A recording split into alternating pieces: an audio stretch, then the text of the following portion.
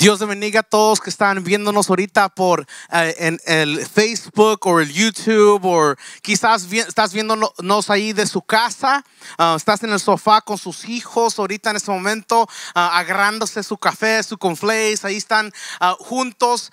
les quiero darle la bienvenida a todos que están viéndonos, sintonizándonos ahorita en este día. Mi nombre es George Carballo, soy el pastor de Vivi Houston, mi esposa y yo. Les quiero felicitar hoy que, que nos acompañaste hoy para estar con nosotros. Hoy es otro día especial. Todavía no hemos regresado a nuestro sitio para tener servicios fiscal. Estamos esperando para el 12 de julio tener nuestro servicio de regreso a nuestro um, sitio del YMCA. Pero por ahorita estamos haciendo todo lo posible en línea para predicar el evangelio de Dios. Um, no sé si de, ustedes hoy, pero yo sé que Dios tiene una palabra especial de sanidad hoy para la iglesia.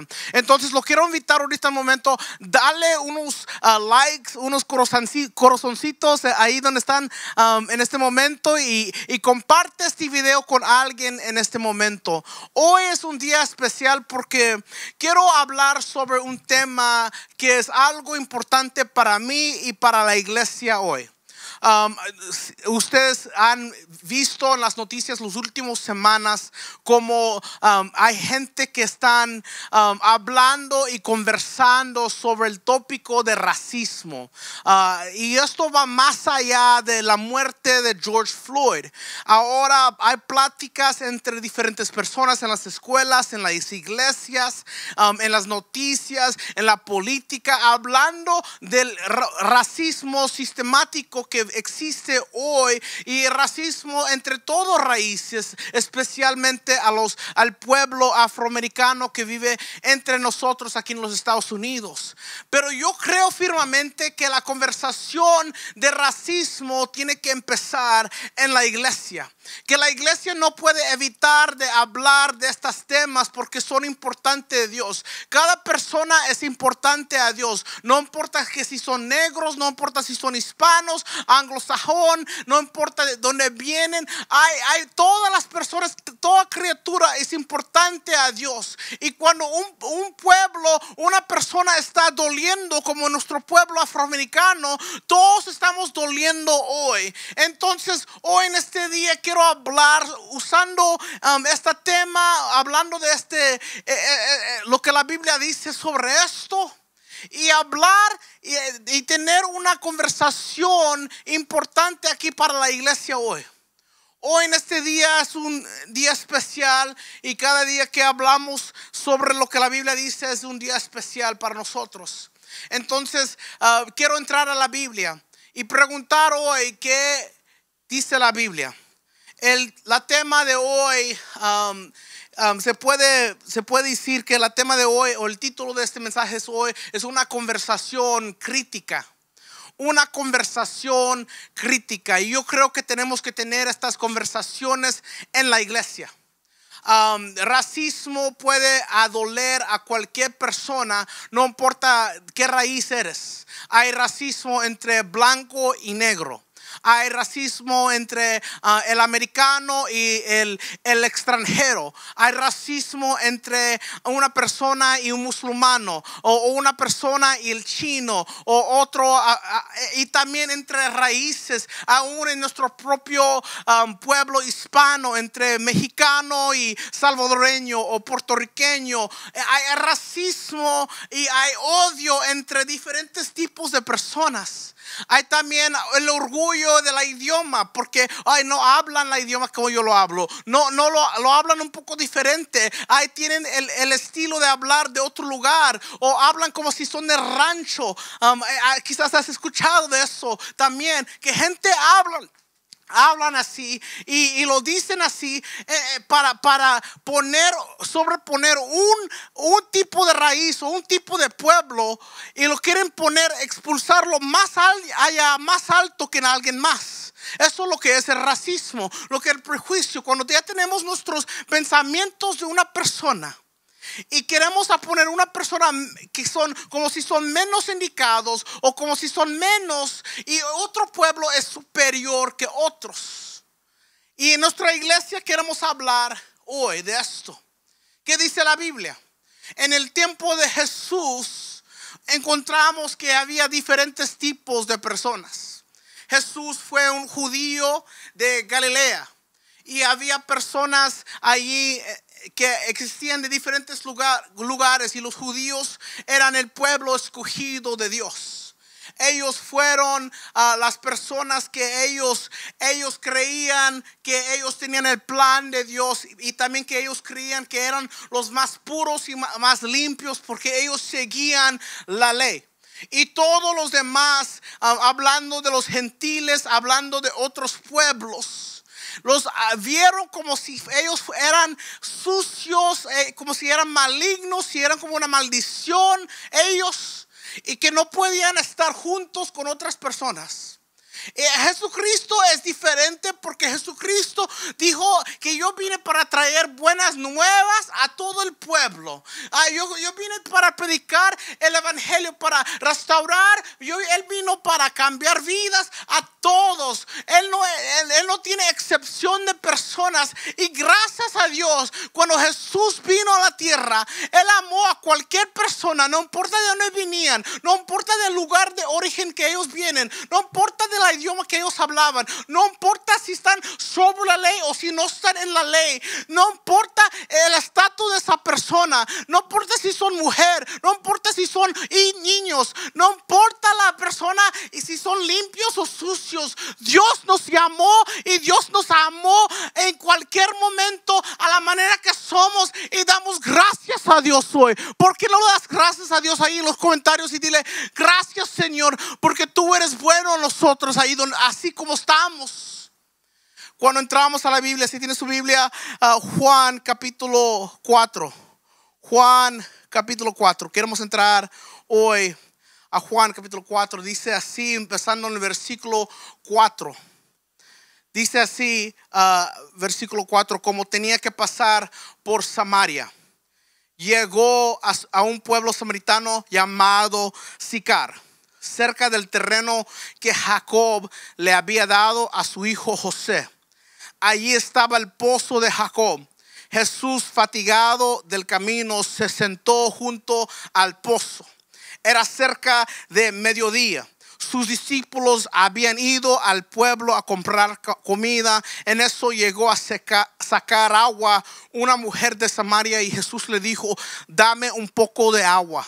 Pero como los judíos no usan um, nada en común con los samaritanos, la mujer respondió, ¿cómo se te ocurre pedirme agua? Si tú eres judío y yo soy samaritana. Quiero uh, dar un poco de trasfondo de lo que está pasando en este momento. Eh, hay dos diferentes tipos de personas aquí hoy, a los judíos y los samaritanos. Y hoy en día quizás la palabra samaritana lo entendemos porque nos recordamos de la parábola del buen samaritano. Y hablamos de ministerios que son de buen samaritano. Um, se usa esa palabra samaritana para hablar de una persona buena, pero en esta etapa de e, este tiempo, en esta época, gente no, no pensaban que los samaritanos eran personas buenas, lo pensaban que eran sucias, que eran una mezcla entre judíos, sus raíces eran una mezcla entre judíos y otros que con quien se casaron. No eran la, gente pura, eran gente de otra raza, eran gente que, que, eran sucios, que no, no servían al Dios que ellos servían, aunque tenían los mismos ah, familiares, la, misma herencia entre muchos años, pero ya son tan mezclados y hay un odio entre el judío y el, el, y el samaritano. Imagínate el odio eh, como el blanco el negro o un judío o en, el tiempo de la guerra mundial número dos e, y el, judío y una persona de Alemania. Eh, hay el odio entre las dos raíces, los dos grupos étnicos. Y en este momento ah, Jesús encuentra a una mujer. Los discípulos fueron a, buscar algo de comer. Y está allí, ahí y caminando entre Samaria. Y Samaria era un lugar um, que, los judíos no querían llegar. No querían llegar a Samaria, entonces ellos odiaban tanto a Samaria que eh, pasando entre Jerusalén a Galilea, tenía, mejor se iban de otro lado, alrededor de Samaria, para no entrar a Samaria. Era el odio que ellos tenían tanto que mejor caminaban por otro lado para llegar a Galilea que entrar y pasar por Samaria. No querían olerse como los de Samaria, no querían ver gente samaritana, no, ah, querían vivir y comer allí en ese tiempo, de, en ese lugar de Samaria. Hay tanta odio, hay tanta odio y, y tanta rencor entre los dos pueblos, los judíos los samaritanos se odiaban. Tienen un rincor entre uno y otros. Y Jesús, lo que él hace, toma un momento para sentarse ahí sobre el pozo donde una mujer está sacando agua. Te quiero decir algo de las, de las conversaciones críticas hoy. Te quiero decir tres cosas hoy en esta mañana. Número uno, ah, una conversación crítica las conversaciones ah, críticas son un poco incómodas. alguien lo cree conmigo. Las conversaciones críticas son incómodas. A veces cuando tenemos que tener una conversación crítica, nos va a dejar salir de nuestra zona de comodidad. Tenemos que salir de, de, lo normal. Tenemos que salir y hacer algo diferente. Cuando tenemos una plática con alguien de otra raíz, cuando tenemos una plática de, alguien de otro lugar, tenemos que incomodamos, incomodarnos un poco para escuchar lo que ellos tienen que hacer. Nosotros como cristianos tenemos que siempre estar escuchando lo que otras personas están sufriendo. Hay gente que dice hoy, pues es el problema de los negros, no es problema mío. Yo soy hispano, yo estoy bien con los güeros, eh, es problema de ellos. Ese afroamericano es problema de ellos. No es mi culpa, ni, ni es mi problema, ni es mi molestia. ¿Para qué me voy a preocupar de esas personas? Pero nosotros como cristianos tenemos que ser diferentes. Tenemos que ser el ejemplo. Tenemos que escuchar lo que, lo que otros están sufriendo y los momentos difíciles de otras personas. Cuando tenemos que, si vamos a pararnos firmes por una causa, primero tenemos que sentarnos y escuchar. Voy a repetir eso. Para pararnos firmes para una posición y tomar una posición en algo tenemos que primero sentarnos y escuchar de eso. Tenemos que, muchas veces nos gusta y también hoy en día en las, en las redes sociales hablar y publicar todas nuestras opiniones. Y cada una persona es una, e, e, es, es una persona inteligente hoy, pero yo, muchos quieren a, enseñar, oh, pues yo conozco esto, yo conozco. Y todos quieren publicar lo que ellos saben en las redes sociales. Y cada quien tiene una opinión hoy. Y no hay nada mal que, tener opinión, pero muchas veces tenemos que sentarnos atrás como cristianos y escuchar de lo que está pasando en la vida de alguien más.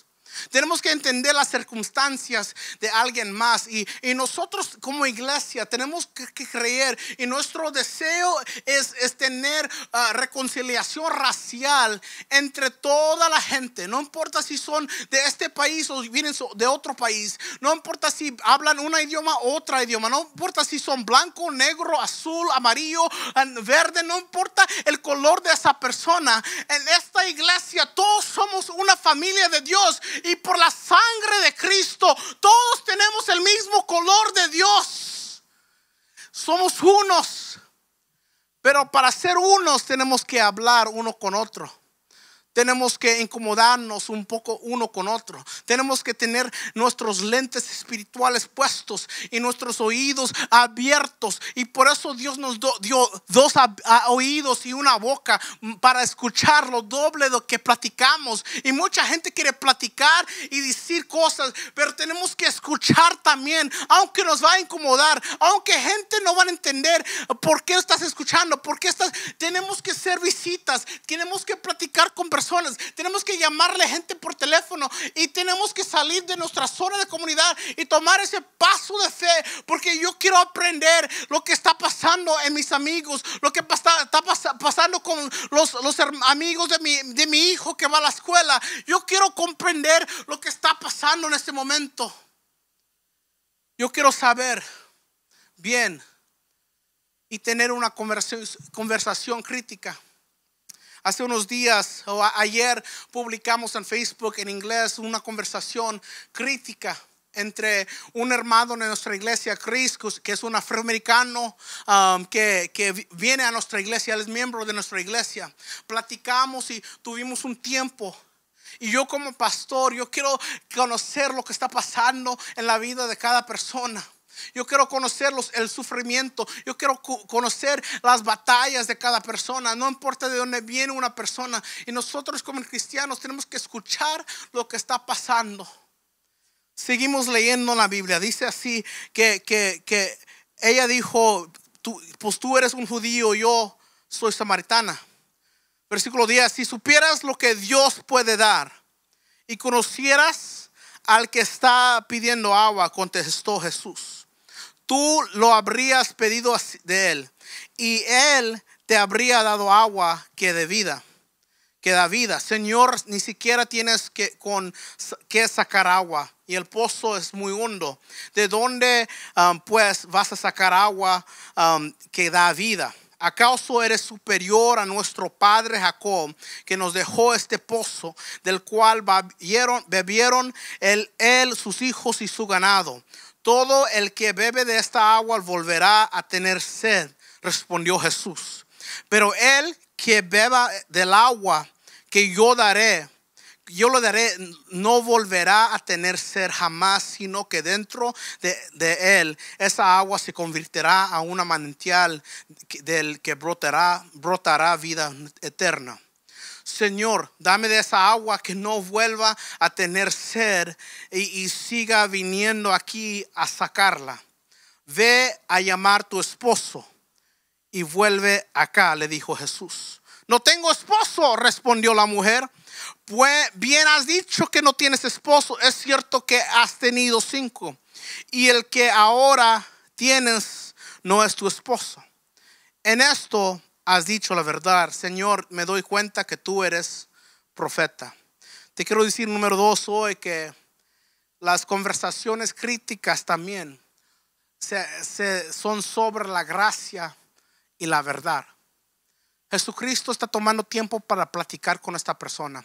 Esta mujer es una mujer samaritana de otra raíz, pero también esta mujer tiene sus, sus propios problemas. Ella está sacando agua en mediodía. En este tiempo una mujer no sacaba, um, e, e, era el, papel de la mujer de sacar el agua, pero no se sacaba en mediodía porque era el tiempo de más calor. E, se, sacaba, se sacaba el agua en, temprano en la mañana, pero esta mujer está viviendo en vergüenza no quiere ver a otras personas, no quiere que otras personas la, la, van a ver. Entonces ella va al mediodía donde nadie más está sacando agua para sacar agua. Ella tiene sus propios problemas porque Jesús, ella ve los problemas que ella tiene, que ella tiene, ah, no tiene esposo ahorita, tiene cinco esposos. Y el que, eh, eh, y quien, la persona que está viviendo con ahorita, ni es su esposo eh, en este momento. Esta mujer ha pasado por problemas y dificultades en la vida. Y Jesús está hablando, hablando a ella en gracia y en verdad. Gracia y en verdad. Jesucristo no está haciendo excepción a su pecado. Ella, él ve el pecado de ella, él ve lo que es el sufrimiento de ella, está viendo las dificultades de ella, las cosas que ella ha hecho en su vida, los errores que ella está haciendo aún a este momento. Y, pero, y Jesucristo, él toma el tiempo para, para expulsar y para eh, hablarles um, la verdad y la revelación sobre sus problemas. No está evitando de hablar de ello. Él lo está confrontando, enfrentando así de mismo, así en, frente de ella, pero lo está haciendo con gracia. Las conversaciones críticas vienen sobre la gracia y la verdad. Hoy en día tenemos que tener conversaciones críticas con personas de diferentes raíces, con diferentes personas, con, pecadores, con, personas como nosotros. Y, y hablar de las dos maneras.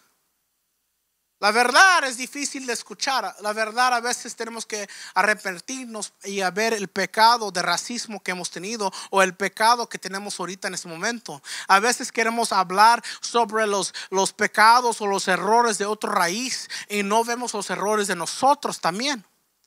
Queremos enfocarnos más en, lo que otra gente está haciendo. O que esa persona, ¿por qué están ahí en la calle? ¿Por qué están haciendo eso? ¿Por qué están haciendo ah, ah, ah, protestas? ¿Por qué están manifestando? ¿Por qué están ahí afuera?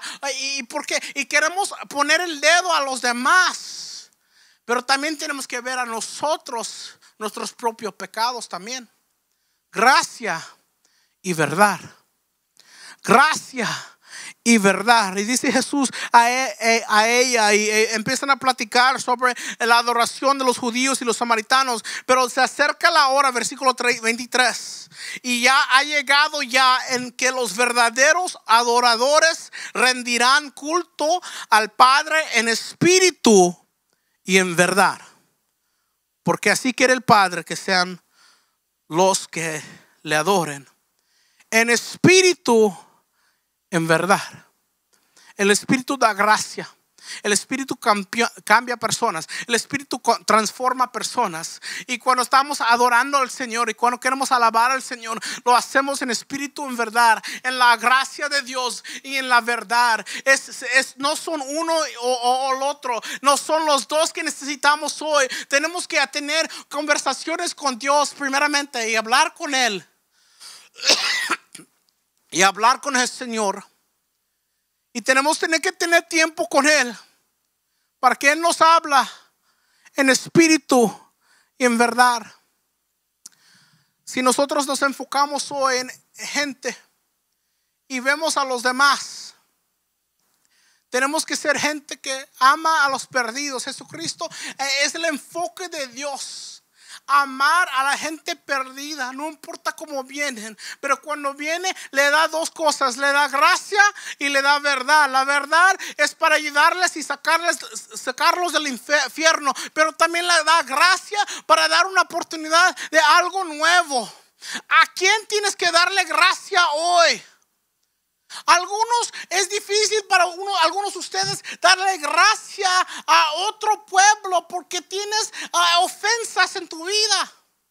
A veces no tienes que no quieres darle gracia a otras personas porque te recuerdas de momentos cuando estabas chiquito, chiquita, cuando estabas más, más joven. Y te recuerdas de cosas que hicieron, oh, ese negro, ese americano, ese bolillo que, que hicieron a mí. Yo me recuerdo de eso. Y tienes todo aquí en el corazón. Y lo que Dios quiere hacer es sanarnos hoy con gracia y verdad. Con gracia y verdad. Si alguien necesita la gracia de Dios hoy, ¿por qué no le pones ahí en los comentarios que necesita la gracia de Dios?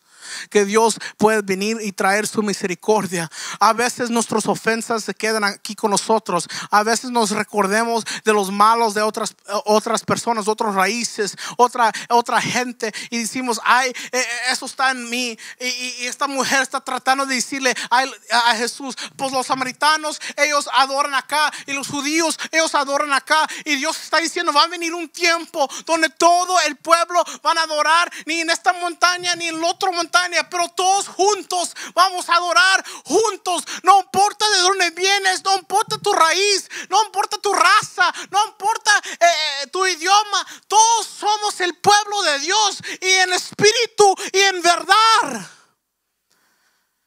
Gracia y verdad. Seguimos leyendo. Dice así, Dios es espíritu y quienes lo, adoran deben hacerlo en espíritu en verdad.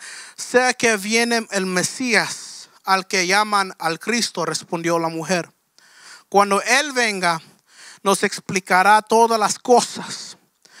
Ese soy yo, el que, había que, el que habla contigo, le dijo Jesús. Ese soy yo. Y dice al final que esta mujer escuchó esta palabra y ella huyó, ella corrió a proclamar a los demás que Jesús era la persona que le había dicho todos los pecados de su vida, pero también ella fue liberada en ese momento y ella empezó a evangelizar a los demás.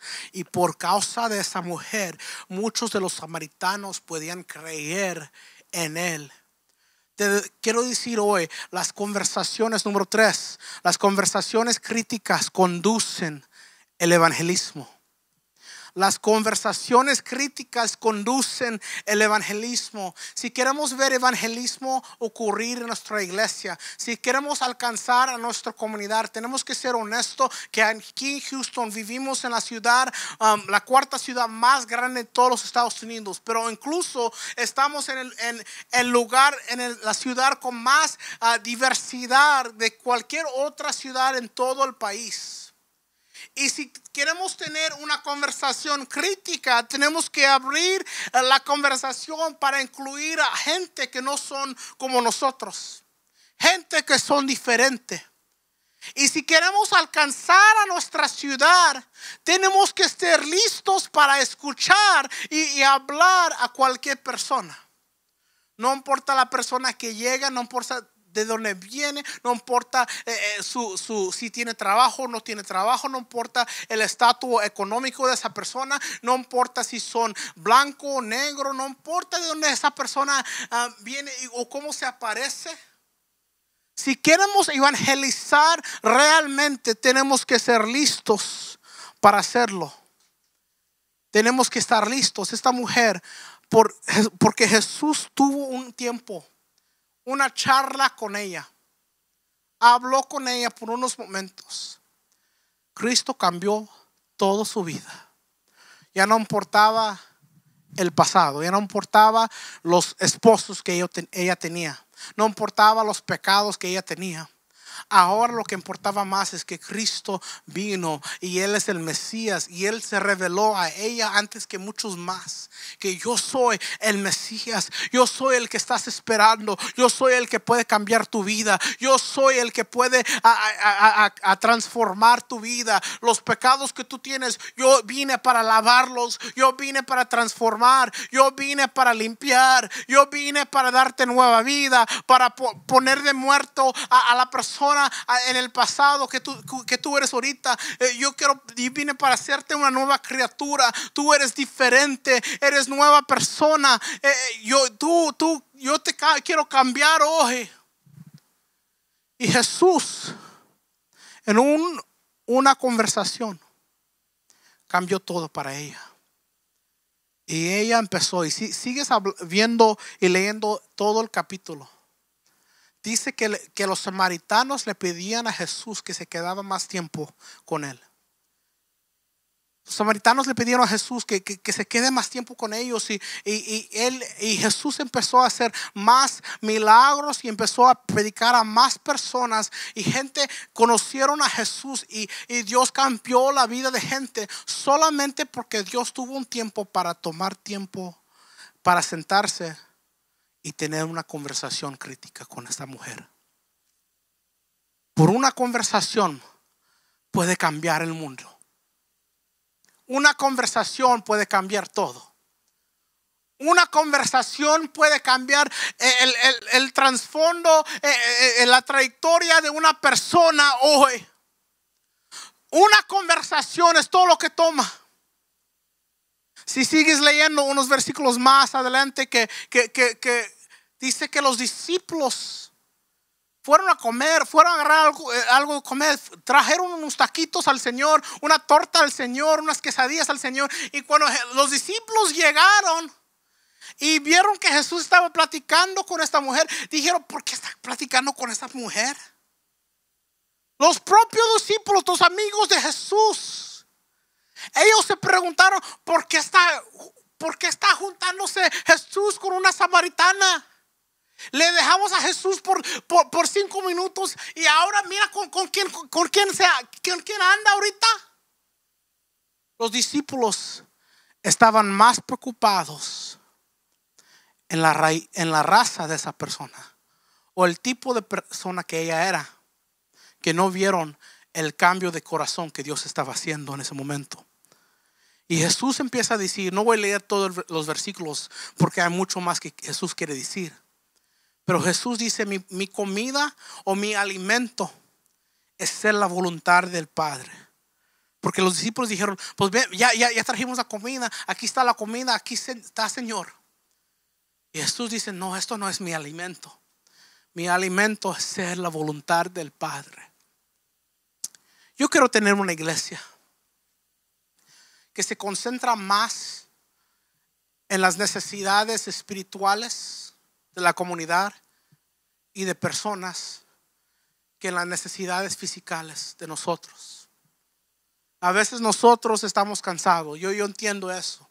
A, a veces estamos enfermos, yo entiendo eso. A veces estamos pasando por problemas, pero muchas veces tiempo, tiempo tras tiempo estamos enfocándonos más en nuestras propias necesidades físicas, en lo que no tenemos o lo que tenemos, que olvidamos de la necesidad espiritual de otras personas. Y hoy les quiero desafiar a la iglesia que tenemos que poner nuestra necesidad a un lado y, ponernos un poco incómodo para tener una conversación. yo no te estoy pidiendo nada más.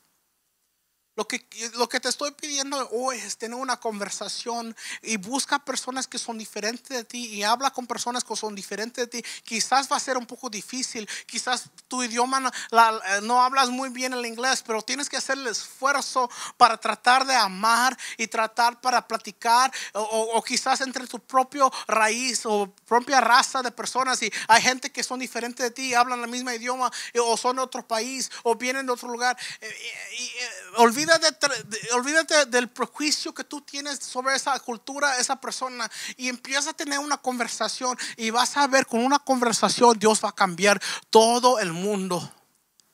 Si nosotros como iglesia queremos evangelizar a esta ciudad, va a empezar con una conversación, empezando con nosotros, que nosotros podemos ser diferentes, que nosotros podemos ser una iglesia que ama a cualquier persona es un tiempo difícil para muchos hoy.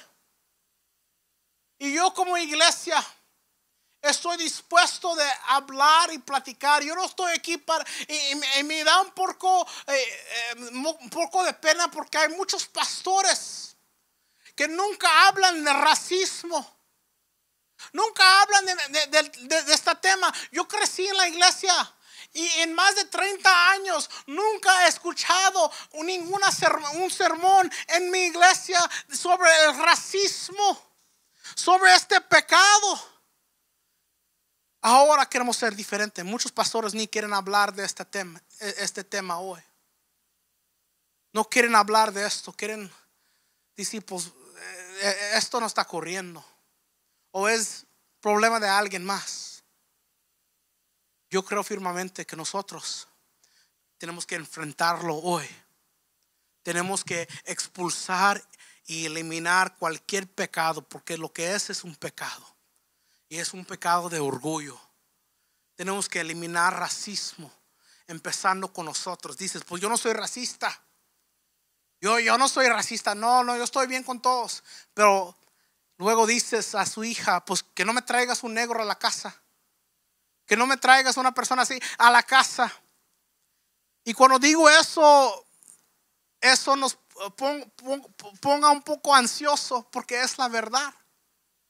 Decimos que no somos racistas, pero, pero cuando cosas ocurren o, o, cuando tus hijos quieren traer gente a la casa para casarse con esa persona o, amigos a la casa, nos ponemos un poco ansiosos, nerviosos. Yo oro hoy que Dios puede usar esta palabra para sanar a todo el pueblo, a toda la iglesia. La solución para lo que está pasando en las noticias no es una, una protesta, no son los manifestantes. La solución hoy no es una ley que vamos a, pasar, ni un político, ni el gobernador. La solución para el racismo es la iglesia, es Dios el poder y el Espíritu Santo que viene en el Espíritu en verdad. Es la solución hoy. Quiero orar por ti. Y quizás este llamado te ha tocado, e- e- esta palabra te ha tocado y, y Dios te está llamando hoy. Quiero orar por ti. Quiero orar que Dios empieza a sanar tu vida, a cambiar tu manera de pens- pensar hoy. Vamos a orar. Padre, en este momento, Señor. Si estás escuchando ahí en los comentarios y quieres recibir salvación, ¿por qué no escribes ahí en los comentarios que quieres aceptar a Cristo? ¿Por qué no empiezas a orar ahí en los comentarios también? Si tienes una petición, ponlo en los comentarios. Padre, en este momento, Señor. Te damos gracias, Señor, por esta palabra que a veces aún es difícil para nosotros escuchar. Pero yo mejor incomodo a gente por un momento para que tu reino pueda ser edificado, Señor. Yo quiero una iglesia, Señor, que está listo para reconciliar gente a ti, Señor. Yo quiero ver una iglesia que está dispuesto para ser diferente. No como los demás que nomás lo van a ignorar. No, yo quiero ser una iglesia que va a hablar y tener conversaciones críticas hoy. Hoy en este día, Señor, si hemos, si hemos ah, pecado, Señor, si hemos tenido um, errores, Señor, si hemos ah, tenido prejuicios, Señor. Yo te oro, Señor, yo oro, Señor, que, que, que, que tú, Señor, limpias nuestro corazón, limpia nuestros ojos, Señor, nuestra mentalidad, Señor, hoy para que podamos ser diferentes. Señor, te alabamos y te pedimos perdón hoy, Señor. Queremos ser una iglesia que puede traer todas las naciones juntas a nosotros, Señor. En tu nombre oramos, Señor. Amén.